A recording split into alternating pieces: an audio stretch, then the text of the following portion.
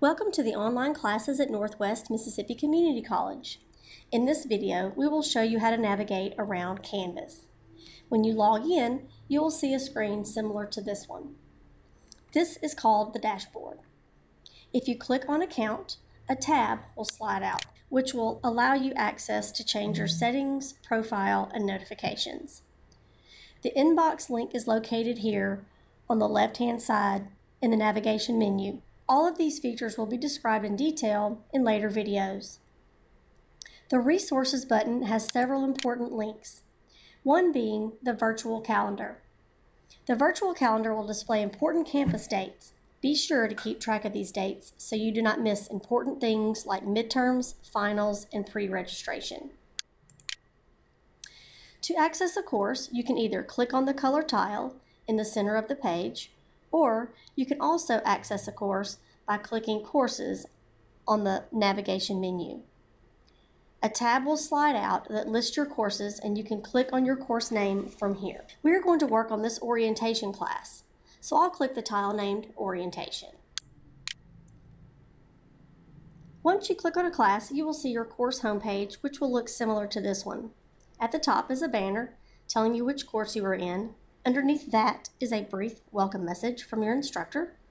At the bottom is a large blue Start Class Here button. This button will take you to the modules page of your course. On the left are your menu buttons. This is how you will navigate around your class. At the top is the Home button, which will always take you back to this home page. Underneath that is Announcements, which will give you a list of announcements for your course.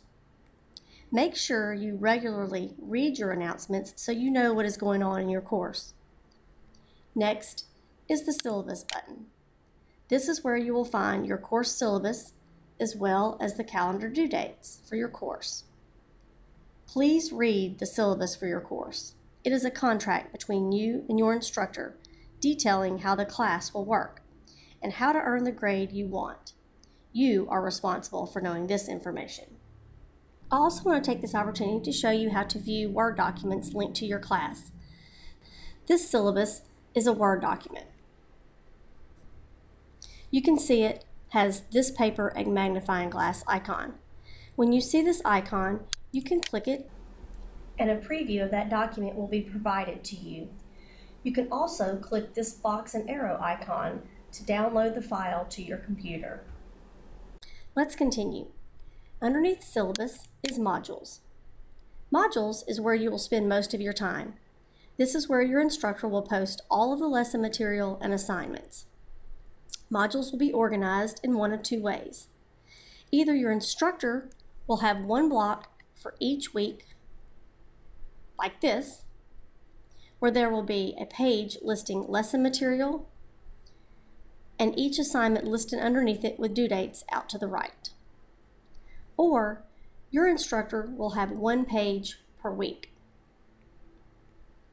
When you click on that page, you will see your lesson material and assignments all listed together. Either way, it is important for you to read the lesson material posted by your instructor in modules.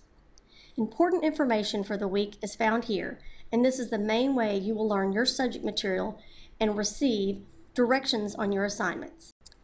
We will go over how to complete assignments in a later video.